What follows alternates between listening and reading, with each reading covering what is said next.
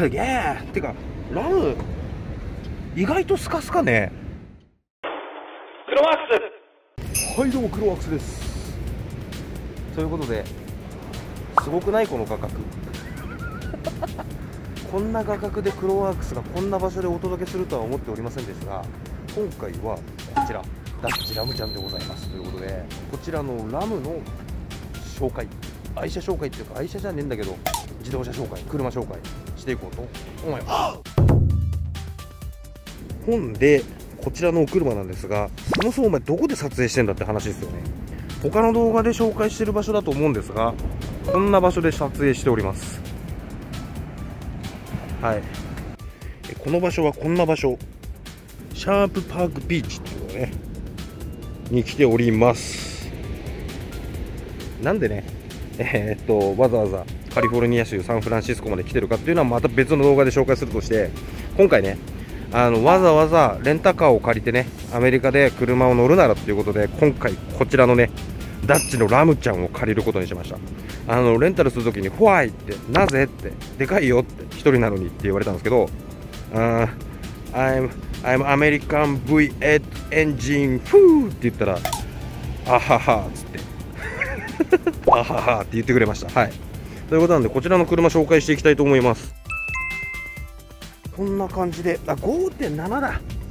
はい5.7リッターの V8 エンジンでございますよ。それを搭載したダッチラム。外装はこんな感じ。たまらんね。たまらんね。こんな感じで。最初からヒッチ。ヒッチつけるためのピンがついていた。りメンバーはついてないんだな。ヒッチメンバーこの裏にあるのかな。下手したらピックアップトラックなんでねついてるかもしれません。こんな感じのリアビュー。マフラーはサイドダッシュ。荷台はこんな感じ。うんプラスチックだね。プラスチックの割れちゃうような素材ですがこんな感じの後ろでございますよ。素晴らしい、ね、ここに腰掛けてなんて言うんですけどはい私すぐる代表の高さではちょっと高いぐらいな感じ。腰掛けるにもよっこいしょって登らなきゃいけないぐらいの荷台の高さなんですがこんな感じのピックアップトラックでございますね。でダブルキャブなんでございますよこちらの車。もちろんねアメリカのレンタカーっていうことで左ハンドルでございますがこんな感じの車内でございます。後ろちょっと開けてみるか。後ろもこんな広々というような感じの外装でございます。これねちょっと待って内装見せる前にボンネットっていうかあれ見たい。エンジン。よいしょ。エンジン開けてみようぜ。俺まだ開けてねえんだよこの車。さあどんな感じでしょうか。ロックどこ？ロック。ここじゃねえなロック。はいということで調べて分かりましたボンネットの開け方。ここにレバーいたわ。どこ行った？この下か。下側にいるこのレバーをスッとずらすとポイント。ということで出てまいりましたボンネットこんな感じ。ピカピカやん。新車やん。ニューカーって言ってたの。本当なんだな。すげえ。V8 エンジン。片側にちゃんとダイレクトイグニッションイグニッション。4つついてるからここにね。イグニッションちゃんと4つついてるからちゃんと V8 エンジンですね。すげえ。てかラム意外とスカスカね。スペース意外とスカスカねでこれ V8 ここでしょ？下？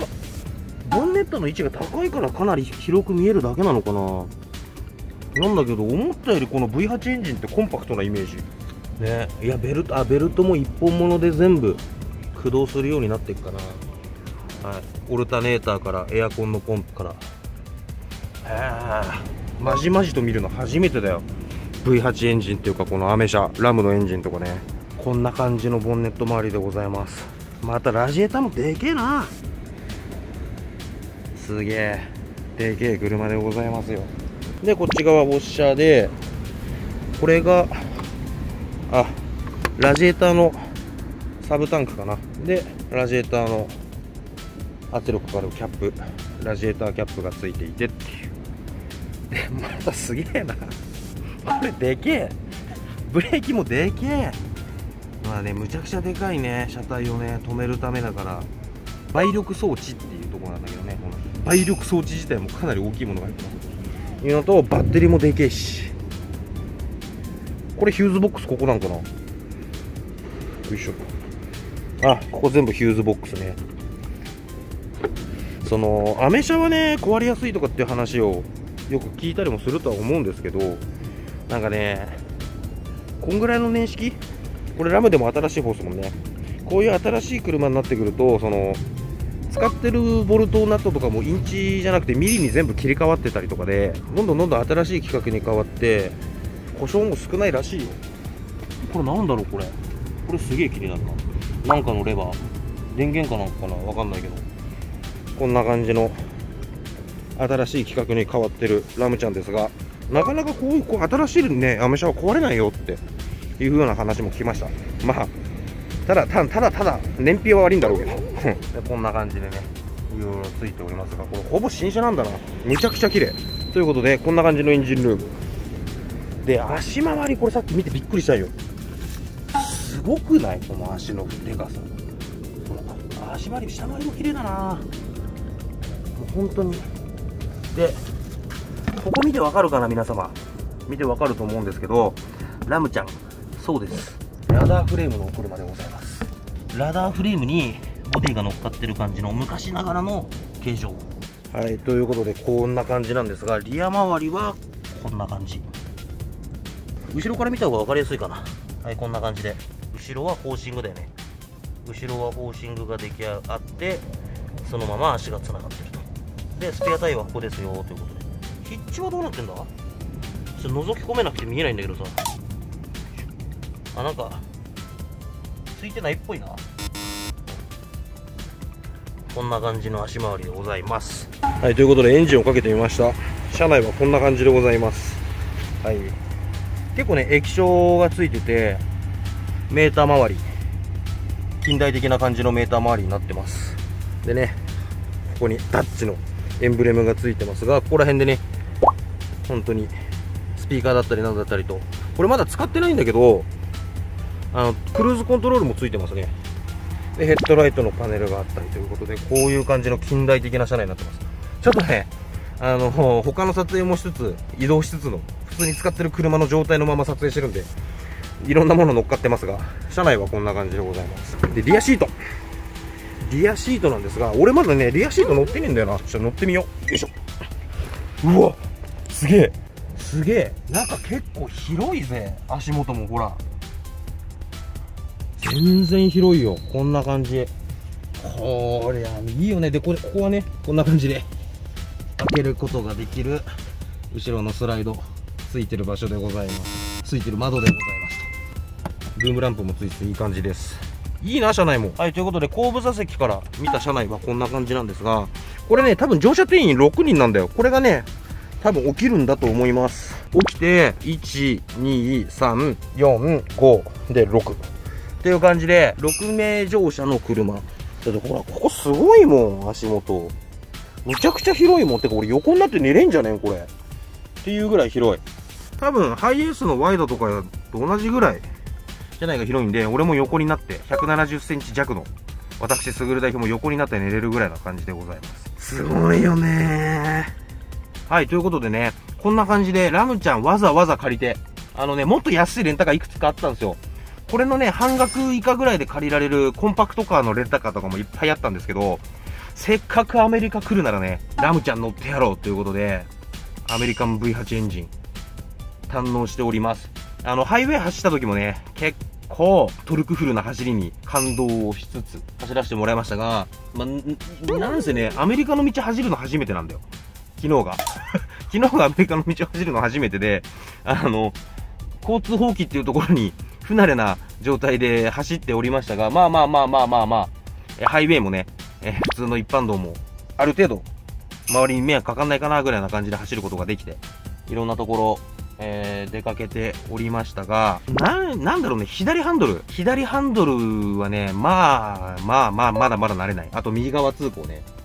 感覚的にどうしても左側通行の目線の送り方というか、安全確認の仕方をしちゃってる自分がいたりするっていうところもあったり、あとはもう全然交通マナーみたいなところの独自ルールみたいなのがやっぱあんだろうな。それに関してはね、やっぱり、あの、日本とアメリカの差っていうところは感じつつ、いろんなね、住宅街なんかも走ったんですが、大きめの車に戸惑いながら、右側通行に戸惑いながら、左ハンドルに戸惑いながらも、まあまあまあ、乗れないことはないかなっていう感じでございました。いやー、ほんと、昨日からね、この車お世話になってるけど、最高の車でございます。でね、今、透過類つけてみました。透過類こんな感じです。ヘッドライトは、これ別に HID とかじゃないんだね。でウィンカー今つけてます結構ほらアメリカの車っていうとさこれなんですよウィンカー これね点滅してるの分かります？ちょっと明るいから見えづらいかもしれないですけど後ろのウィンカーはオレンジじゃないんですよね赤の点滅これはねやっぱりね最初慣れませんでした。てかなかなか慣れません。なんですがこんな感じで透過類もねアメリカ仕様だぜっていうことで僕は今アメリカを感じてる次第でございます。はいということで周りの人がねよく知らん言語でいやよ周りの人がねわけわかんねえアジア人がよく知らねえ言語でアメリカでは一般的であるダッチラムニューの周りでもちゃもちゃもちゃもちゃ撮影してるんでこいつ何やってんだみたいな目で見られておりましたが あのこんな感じでね今回はラムちゃんを紹介してみましたがいかがだったでしょうか。いやー今日一日まあ今ね時間で言うと2日目の朝10時半回る頃なんですけどあの今日中にね撮影できるものをどんどんどんどん撮影させてもらって明日の午前中にはもう帰国に向けてっていうんでもう本当に本当に本当に短い、あのー、時間でねタイトなスケジュールでこっち来させてもらってるんでできる限りいろんな撮影してね皆様にアメリカっていうものをね紹介していけたらなというふうに思っております。はいということで今回はこちら。ラムちゃんですね。ラムちゃんって言ったら面白いな。ダッチラム。V85.7 リッターの車。ということで紹介してみましたがいかがだったでしょうか？多分ねガソリンのメーターの減りを見てると燃費はそんなに良くねえと思う、うん、むしろ悪いと思う。だけどねそれだけじゃね語れないアメリカの大きい V8 エンジンでございますよ。こちらのお車。あとね1日ちょっと僕の相棒として動いてもらうんでねいろいろ乗ってめでていってやろうというふうに思います。はいということで今回はこちら。えー、ダッチラムちゃんということでラムちゃんを紹介してみましたがいかがだったでしょうか。この動画が面白かった参考になったという方がいらっしゃいましたらぜひとも動画の評価とチャンネル登録お願いします。また Twitter、Instagram、クロワークスのブログのチェックこちらもぜひともよろしくお願いします。はいということで今回も最後までご視聴いただきどうもありがとうございました。はいということでめちゃくちゃ広いサンフランシスコ郊外の太平洋側のなんだっけ何ビーチ？シャープパークビーチからお届けいたしました。